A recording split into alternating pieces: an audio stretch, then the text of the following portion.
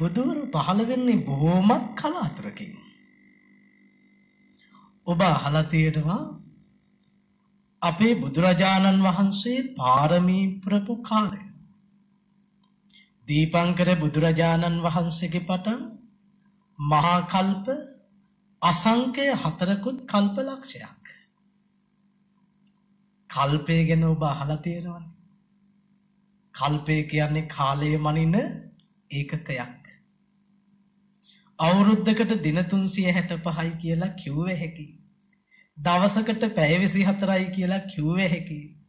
මාසයක් කියන්නේ දවස් 30ක් කියලා අපිට කිව්ව හැකි. කල්පයට අවුරුදු කීයද කියලා කියන්න පුළුවන්කමක් නැහැ.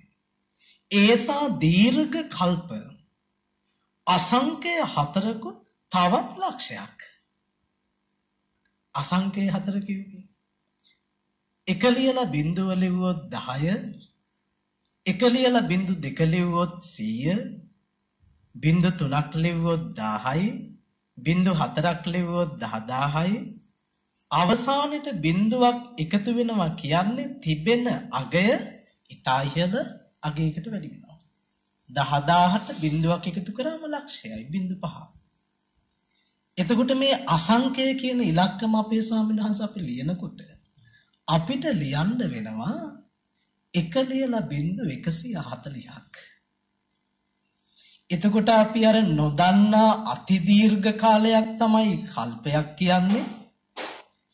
ආන් ඒ වගේ කල්ප එක ලියලා බිංදු 40කින් ලියන අපි මේ ඉලක්කම වගේ එව්ව හතරක්. දැන් ඔයගොල්ලොන්ගේ මේ ලෝකේ අද එක ලියලා බින්දු කීයක් විතර ලියනවා ඇතිද ගණන් හදන්න? 13යි 14යි. අපේ ස්වාමීන් වහන්සේ අපට එතන ඉක්මවලා තාම යන්න බැරි වෙලා. එහෙව් එකේ 140ක් බින්දු ලිව්වම ඒ ඉලක්කමට කොහොම අගයක් ලැබෙවිද? ආන් ඒ කියන එක ලියලා බින්දු 140ක් කියන සංඛ්‍ය නැමැති මේ අගය අපිට ගන්න වෙනවා බුදුරජාණන් වහන්සේ බෝසත් අවදී පාරමී පුරපු කාලය ගැන තේරුම් ගන්න.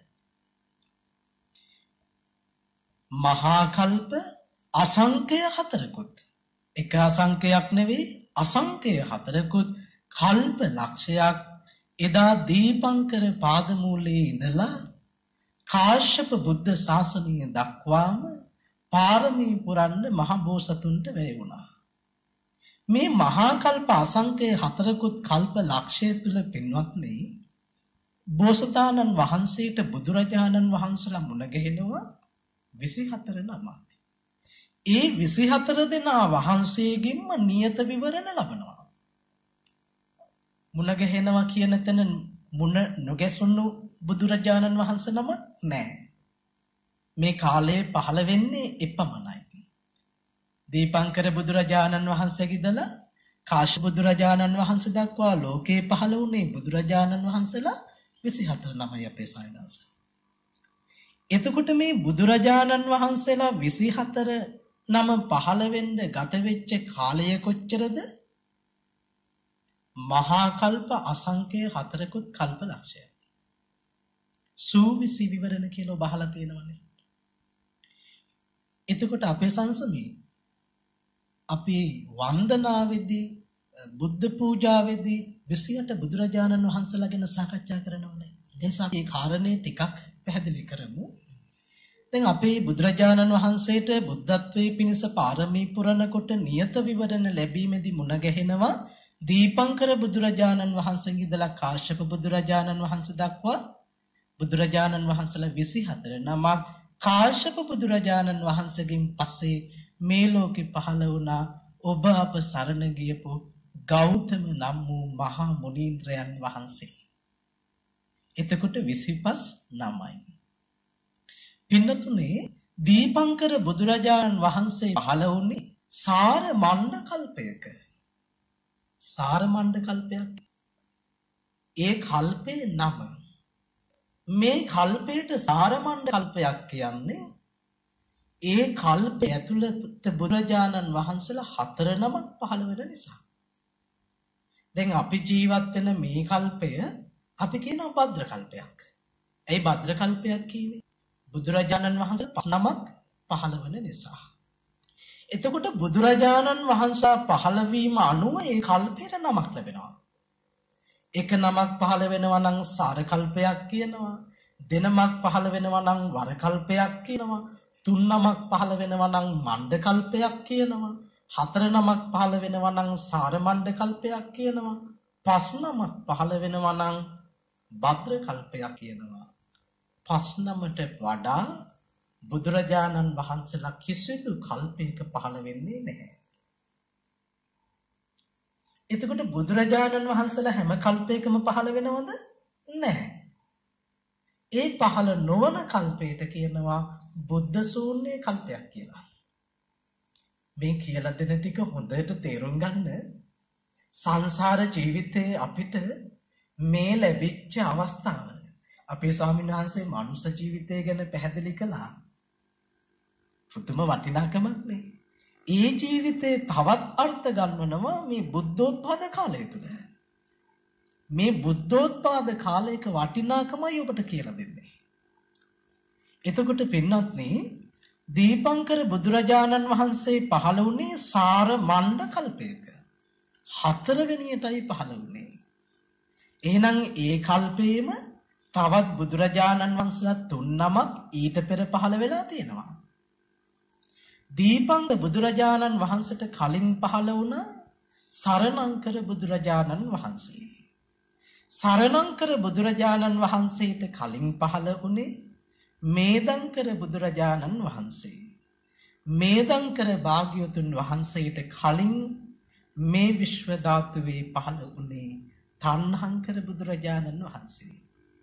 ඔන්න දැන් අපි ගණන් හදලා බලමු දීපංකර බුදුරජාණන් වහන්සේගේ ඉඳලා කාශ්‍යප බුදුරජාණන් වහන්සේ දක්වා බුදුරජාණන් වහන්සේලා 24 නමකගෙන් අපේ මහබෝසතාණන් වහන්සේ නියත විවරණ ලබනවා. එතන 24යි. අපේ බුදුරජාණන් වහන්සේ 25 නමයි.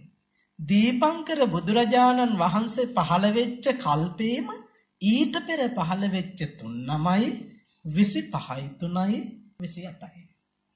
එහෙනම් මහා කල්ප අසංකය හතරකුත් කල්ප ලක්ෂයටම බුදුරජාණන් වහන්සේලා පහළ වුණේ කී නමද? 28 නමයි. ඒකයි 28 බුදුරජාණන් වහන්සේ ගැන ශාසනය තුල සඳහන් කරන්නේ. එතකොට අපේ සාමින්හංශ මේ 28 බුදුරජාණන් වහන්සේලා පහළ වෙන්න ගත වෙච්ච කාලය සුළුපටු කාලයක් නෙවෙයිනේ. මහා කල්ප අසංකය හතරකුත් කල්ප ලක්ෂයක්. හැම කල්පයකම ඒ කියන්නේ එක කල්පයක එක නමක් පහළ වුණත් නෙවෙයි. දැන් අපි ජීවත් වෙන කල්පේ කකුසඳ බුදුරජාණන් වහන්සේ, කොණාගමන බුදුරජාණන් වහන්සේ, කාශ්‍යප බුදුරජාණන් වහන්සේ, ගෞතම බුදුරජාණන් වහන්සේ කියන සිව් නමම පහළ වුණා. අනාගතයේ මෛත්‍රී බුදුරජාණන් වහන්සේත් පහළ වෙනවා. එතකොට මේ මහා කල්ප අසංකය හතරකුත් කල්ප ලක්ෂය තුල පින්නතුනේ බුදුරජාණන් වහන්සලා පහළ වෙච්ච කල්ප කල්ප 11යි තියෙන්නේ. 28 නමම පහළ වුණේ කල්ප 11ක් ඇතුළත.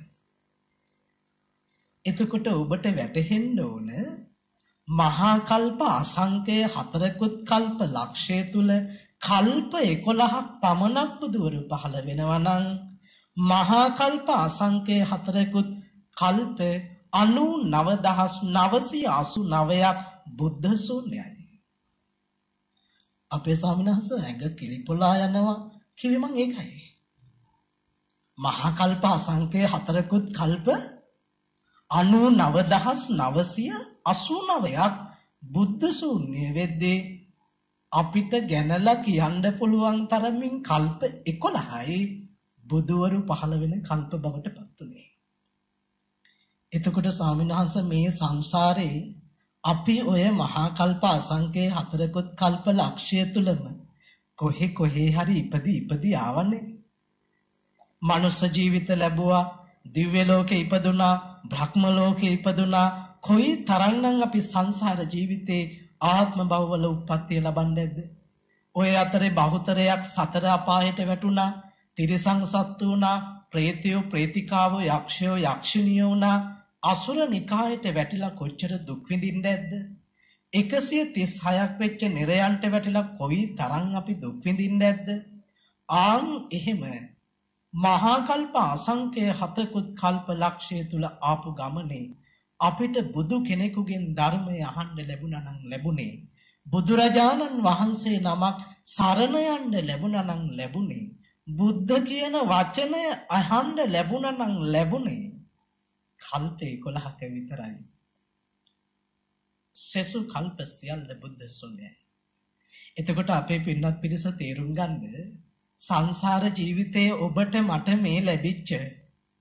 මේ ලැබිච්ච මනුස්ස ජීවිතේ කොයි තරම්නම් වාසනාවන්තද මේ ජීවිතේ අපට ලැබුණේ? බුදුරජාණන් වහන්සේ නමක් මේ ලෝකේ පහළ වෙලා ඒ මහා උතුමන් වහන්සේගේ සම්බුද්ධ පරිනිර්වාණයෙන් ශේෂ වෙච්ච උත්තම ਸਰවඥ ධාතුන් වහන්සලා වැඩ ඉන්න. භාග්‍යවතුන් වහන්සේගේ සිරි මුව මණ්ඩලින් ගලා මිහිරි ශ්‍රේ සද්ධර්මය ලෝකේ පවතින කාලයක ඒ නිසා පින්නතුනේ මේ මනුස්ස ජීවිතය ඔබ ලැබුවේ සාමාන්‍ය කාලයක නෙවෙයි ඔබ මේ මහා කල්ප අසංකය හතරකුත් කල්පලක්ෂය තුල අතීතේ මනුස්ස ජීවිත නොලැබුවාද? නොලැබුවා නෙවෙයි. අතීතේත් මනුස්ස ජීවිත ඔබ ලැබුවා. ඒ ජීවිතවල හොඳ නරක කියලා දෙන්න කෙනෙක් හිටියේ නැහැ. යහපත අයහපත පෙන්නලා දෙන්න කෙනෙක් හිටියේ නැහැ. පින පව පෙන්නලා දෙන්න කෙනෙක් හිටියේ නැහැ. ධර්ම මාර්ගය විවර කරලා දෙන්න කෙනෙක් හිටියේ නැහැ.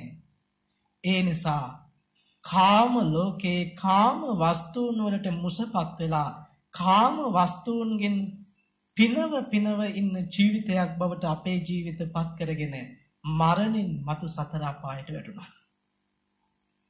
ආන් එහෙම ඉරණමක් ඇති සංසාර ගමනේ අපේ ස්වාමීන් වහන්සේ අපට මහා පිනක් මට නම් තේරෙන්නේ නැහැ කියලා දෙන්න අපේ ස්වාමීන් වහන්සේ මේ පින මොන වගේද කියලා.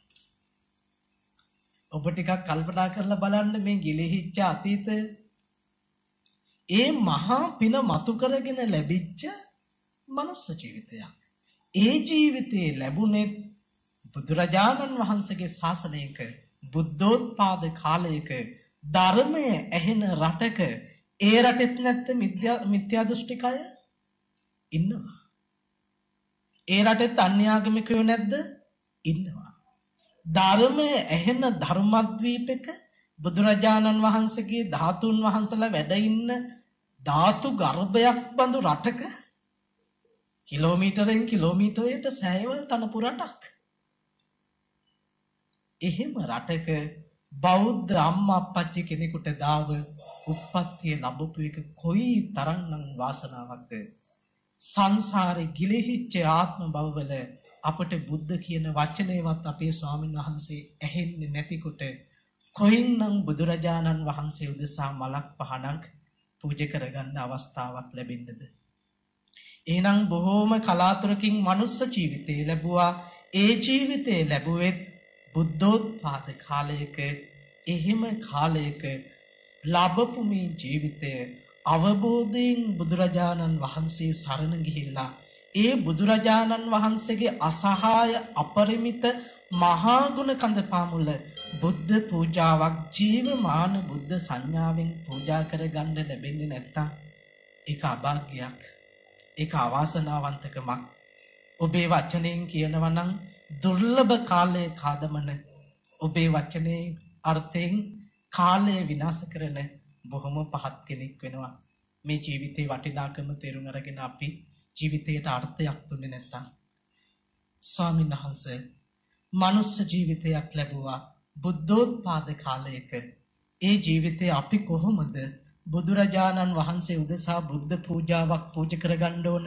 අපි කොහොමද ජීවමාන සංඥාව උපදව ගන්න ඕන?